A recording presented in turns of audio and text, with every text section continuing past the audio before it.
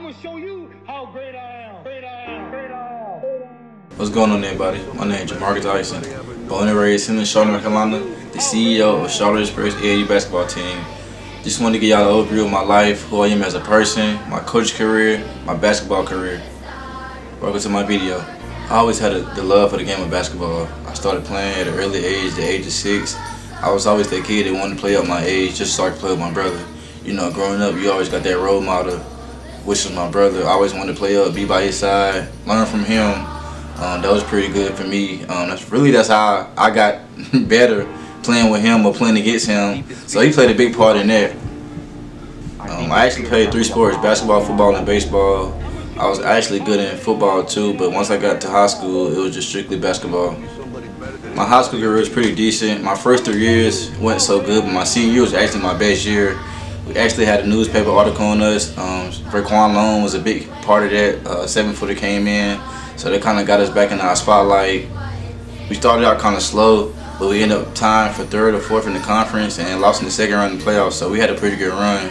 I was getting recruited by UNC Pembroke, Elizabeth City, Mars Hill, Fayetteville State, and a couple other JUCOs. Once my high school season was over, I started going through the recruiting process. My main target was UNC Pembroke, but things actually didn't work out with Pembroke, so I ended up taking the JUCO route. JUCO is really different. You have to really adapt and be ready.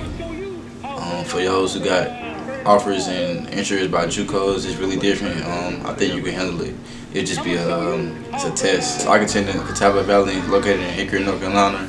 Pretty good school, nice gym. They actually had the best gym in the region, so that really pretty much caught my eye as far as JUCOs. Uh, once I left Catawba Valley, transferred to Winston-Salem State, things didn't go right that way, so I went to Queens. Um, I always, my, my main focus was just basketball instead of actually doing the schoolwork and staying focused in school. My mindset was just stuck on basketball, basketball, basketball. So really, I was just stuck in my mindset was just basketball. So for y'all that's watching this video, stay in school and just more than basketball. After Queens, I ended up playing basketball in London. It was very different. The experience was great. I loved it. The culture was different, really nice. The people was really different, really welcoming uh, over there. Some experience I will not forget. I loved the things that Coach Kim Martin. I traveled over there with the USA uh, Select Basketball. Had a really good run there. The first game I had 28 points on the first uh, to start the tour. So that was pretty good. Um, really different. So uh, that experience is undescribable. Um, it was just a great experience. I loved it. Uh, like I said, I'll go back now if I could. But overall, great experience. So my life has been really a roller coaster, up and down. Um, losing my brother was probably one of the tougher things I had to deal with at a young age. I was 15 in ninth grade, and I was actually with my brother, so that kind of triggered me. Um, made me actually made me stronger and uh, wiser who I am. Uh, I look at things pretty different now. Um, I have a little daughter now, so that's my motivation. She's always looking up to me, always around me, daddy, daddy, daddy. So she kind of keep me on my toes. Um, my brother actually my motivation too. He's um, he really makes reason why I have the job that I have. The go-getter job, the solid. I'm really solid. Um, I like to keep my family tight around me. So really, my daughter and my brother is my two motivations in life. My brother's death was, was probably what hit me hard in my life. Like I had to overcome that adversity. So that was really tough for me. Um, I could say I grew from it, but to this day, I don't think I'm still okay with it. But as far as like growing up and seeing things different, that made me a stronger person.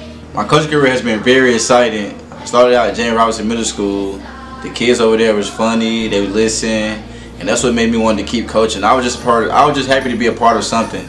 Um, that was my first year coaching. My second year, I transferred over to Rocky River High School, coaching varsity girls basketball alongside with Coach Neely. That was pretty good. Uh, I liked it. Coaching girls is actually different. You just gotta have more patience, but overall, I liked it. Um, CEO of Charlotte Express. That's my uh, AAU organization. Like I said, I started out with one team and now I have four. So I'm just all about elevating, helping the kids. I always wanted to start my own organization. Growing up playing AAU, I felt like it was good to just get back to the youngins and always be there for them. For, for my players, me, I like to have a relationship with all my kids, even after basketball. So life, like I say, life is just more than basketball. I also want to have a relationship with them outside of basketball. So that's pretty much how I am. Um, I was once asked if I could change anything, would I change it? No, I wouldn't change a thing. My experience was great. That's the path I took. Your path might not be the same. I'll, my advice to you is to have a backup plan. Don't just think it's basketball, basketball, basketball. Have a backup plan. Know what you're gonna do. Have a vision. My vision was to get back to the youth, get back to the youth, help them grow as teenagers, make them see life more than just basketball. Cause life is definitely more than just basketball. So to my students, to my athletes, the sky's the limit. Stay locked in. Always have confidence in yourself and life, not just sports. Thank y'all for watching this video. That's just me and my life and what I went through in life, my adversity I overcame, my coaching career, my basketball career. Thank y'all for watching. Also, follow my AAU page at Charlotte Express underscore basketball. On website, charlotteexpressbasketball.com. Thank y'all for watching. Let me tell you something you already know. The world ain't all sunshine and rainbows.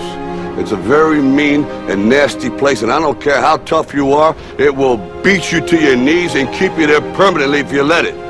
You, me, or nobody is gonna hit as hard as life. But it ain't about how hard you hit. It's about how hard you can get hit and keep moving forward. How much you can take and keep moving forward. That's how winning is done. Pain is temporary.